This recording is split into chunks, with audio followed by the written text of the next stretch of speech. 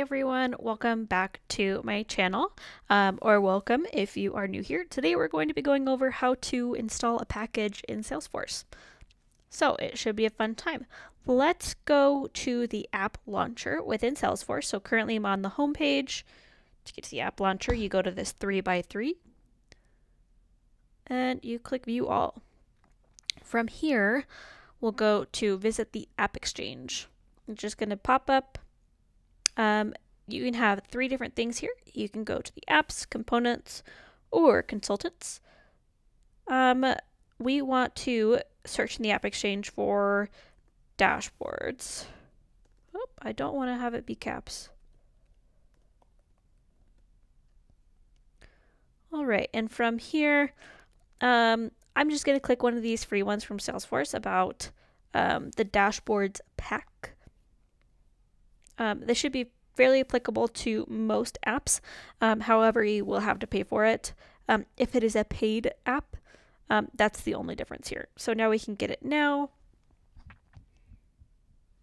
Um, you'll have to open the login screen, allow. Um, typically, you'll have to pay around here after you log in. Um, you can click either in, install in this org, which is typically what you're going to actually, I regret saying that, you're going to want to install it into a sandbox org unless you are in a trailhead org. Um, a sandbox will help you kind of test it out and make sure that it's not going to cause um, any issues within your production org. Um, I said install here because I am in a trailhead org, but if you are in production, um, be sure to create a sandbox and install it in your sandbox. I'm going to install here. Um, I have read the terms and conditions. Confirm and install.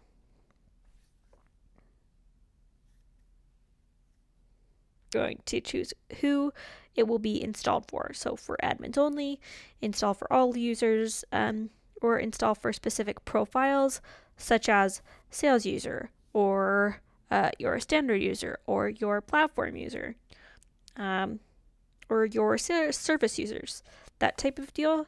Um, because this is for dashboards, I'm going to install it for all users.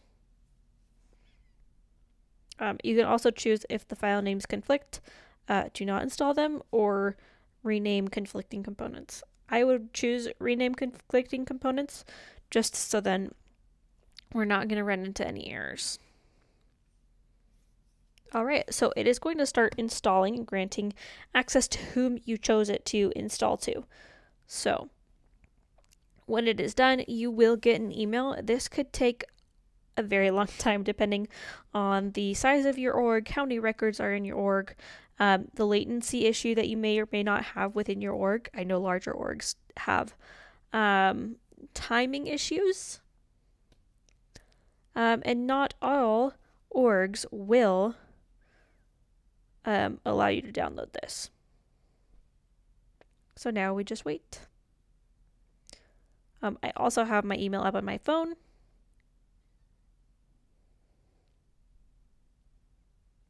And I just got that email about 10 seconds before this uh, installation complete came up. So I am going to click done, click exit out. Um, and this was a dashboards one. So if we go into our dashboards, we can validate that it was um, that it was there. Um, and this 10:13 a.m. actually matches up. Yes, it says 11:14. Um, but I would gander to guess that the time zone of my org is um, Pacific time and I'm in Mountain time. So I hope you found this helpful. Um, if you have any questions or concerns, be sure to drop down below um, and leave a comment. I'll try and get back to you as soon as possible. Um, like and subscribe. So I will catch you guys in the next one.